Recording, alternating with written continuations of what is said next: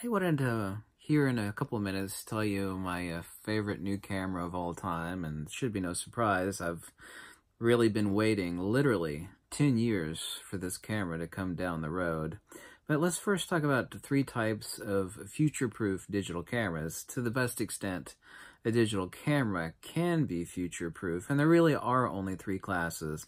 And within those three, uh, there's one that uh, sits above all else, and that's not a particular brand or model, but a type of camera. Those three arenas are a digital Leica camera, and I'm no fan of overpriced Leica cameras. No fan at all, but I mean, that's a fact. Number two, flagship Nikon cameras like the D4, the D3, the D5 does not qualify. But the D3, D3S, D4, D4S, um, the third type is medium format. Medium format holds its value better than any other type of digital camera. The reason for that is there's been A, very few improvements in medium format.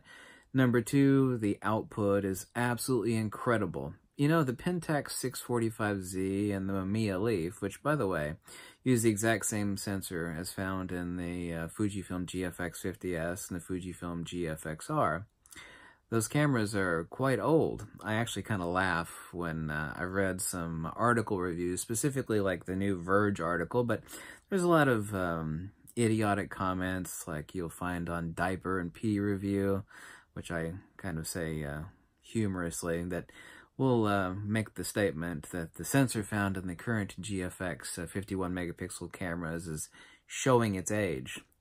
Compared to what? The dynamic range is unmatched. The image quality is absolutely crotch-melting perfection. Let me repeat that for you if you didn't hear me the first time. Crotch-melting perfection. Tougher than woodpecker lips. Finer than a Swedish supermodel, or any supermodel for that matter. Fine. What is it? What did you? What are you going to compare it to? Have you ever seen like a full uncompressed 300 megabyte TIFF file um, from a Fujifilm GFX camera. I've made more than a few videos and let people take a look at it. And of course, 99 times out of 100, the answer is, oh my god. Um, I'm hearkening to, and I'm going to you, talk about here very, very quickly, my current favorite camera of all time, even though it's not fast and it doesn't have a buffer rate, but that's what my X-T3 is for, or my Nikon D850, or my Nikon D500 is for. Uh, the Verge um, on January the 24th. And you always know when someone doesn't know what the hell medium format cameras are or what they're made for. They're made for one thing only, ultimate image output. UIO, ultimate image output. That's all they're made for. They're kind of like gigantic earth movers that are used in like coal mines and copper mines. These giant vehicles, like each tire costs like a $100,000. Each tire is like a $100,000. They get like two miles to the gallon. The top speed is like 20 miles per hour. You know what? They do one thing and they do it really, really well. They haul a crapload of dirt. No one is bitching about those particular type of earth movers being slow or getting abysmally horrific gas mileage, nor about uh, the tires being $100,000 a piece. In other words, you replace all four tires before. And you see, they do one thing and they do it perfectly, and that's exactly what medium format is. Um, I've actually been out almost every day since arriving in Florida, and I'll return back here uh, next Thursday, so I'll be back in a week. And of course, I've used it extensively before then, and I was one of the first people to get my hands on one, and I even uploaded the receipt showing that I paid full retail price for it. I uploaded that receipt on Instagram. And here it is. The Fujifilm GFX 50R. I've waited 10 years for this camera.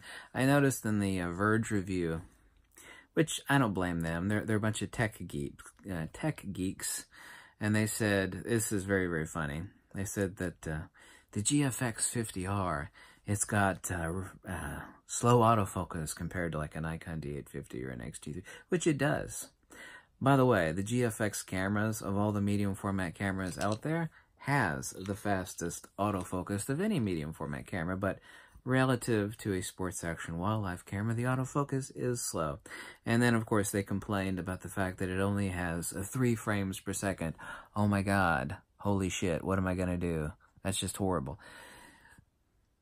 This camera is not made for hardcore sports action and wildlife. It's not designed for that. It's designed for insanely serious output, ultimate image output fashion, product photography, commercial, business photography, fashion photography, landscape, architecture. The image output, a full-blown uncompressed um, TIFF file, will knock you off your socks. If you're honest to yourself, I mean, you can't look at it and go, holy shit, look at the dynamic range. Oh my God. Holy crap. This is, oh, I can crop the hell out of this shot and it still looks better than anything else I have.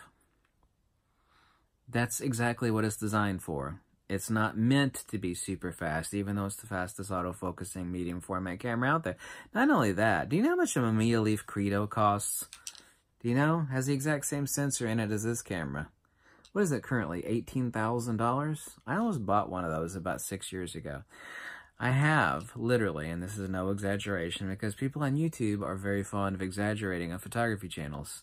I've been waiting about 10 years for a compact, relatively inexpensive, and for medium format, $4,500 is insanely inexpensive.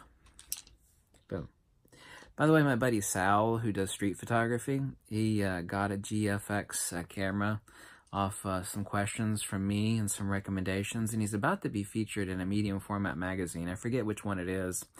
His uh, medium format uh, street photography was recently featured in a, prominent uh, photo gallery.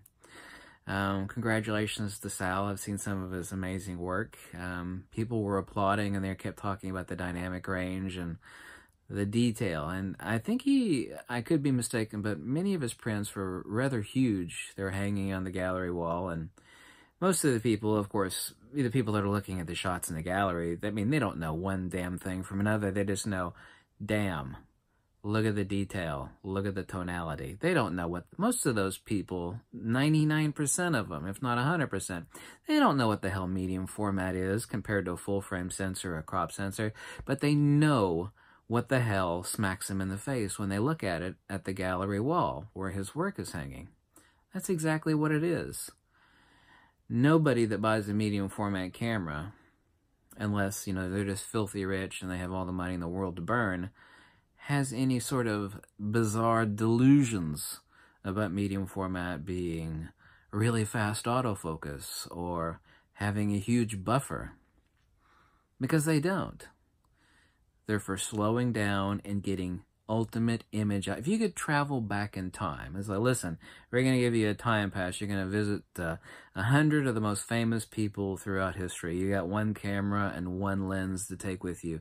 Now, if you had a brain, what the hell do you think you would take with you? It's like, you get a chance to take a picture of the hundred most famous people in history, and the only thing we have of them have of those people at best is like a grainy ass crap photo. So we want you to take a few portrait shots of these people and then come back. Bring the SD card with you and the camera. What camera are you going to take? This is a situation, of course, it's a completely fantastical situation, but I mean, this drives home the point. You would be taking a medium format. Period. Um, I've had so much fun. I've had so many comments the past few days. I haven't been you know, posting anything jaw-dropping image-wise. A couple of them I think are really, really nice. But I mean, the ultimate image output is undeniable. It's, it's as close to perfection as you're going to get. It's medium format, for God's sakes. Do you know how much better uh, $60,000 um, uh, Phase 1 looks versus the 51 megapixel? Yeah, it's indistinguishable at a 20 by 30 standing three feet away. It's indistinguishable. Um, the 100 megapixel GFX is coming, I know, but uh, yeah, I mean, I, I actually thought about this video before making it because when you make a statement like this one in this video that, hey, my favorite camera in the world now is bum bum bum bum, people are going to beat me over the head with it. They're going to like, oh my god, and this guy's talking about a slow ass camera with a three shot per second buffer being his favorite camera in the world. I've been waiting 10 years for this camera. The reason why this is my favorite camera in the world, not because it's new, because the exact same sensor and engine is found in the GFX 50S, which I also happen to own. It's because the image output is incredible. It's, uh, it's, it's unmatched, unless you want to spend $50,000 on a Phase 1. But that $50,000 Phase 1 is huge. It's, it's not, I don't know if you had your hands on one of those, no offense to Phase 1. I don't know if you had your hands on one of those really expensive beasts but they're not built all that incredibly tough, nor are they meant to be.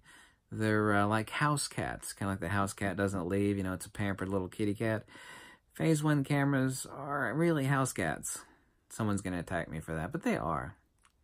Um, they're not, you know, rough and tumble cameras meant to be taken out into the wild for landscape photography. This, however, is. And this is the fastest medium format camera on Earth, the GFX Series R, so... I don't make this video lightly when I say this is my favorite camera in the world. I literally do mean that, and I'm never going to regret this statement. It's, it's not possible. And I'll repeat myself for a fourth time. I have been, and do mean that I've been waiting 10 years for this camera.